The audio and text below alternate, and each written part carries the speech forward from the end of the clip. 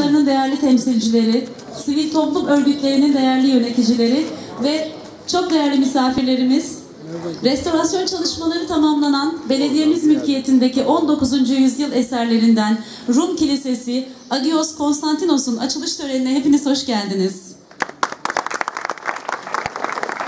İnancımız, rengimiz, ırkımız, cinsiyetimiz, dinimiz ve politik görüşümüz ne olursa olsun şu an aynı gökyüzünü paylaşıp aynı havayı soluyoruz ki bu da sevginin her şeyin en iyi ilacı olduğunun en büyük kanıtı.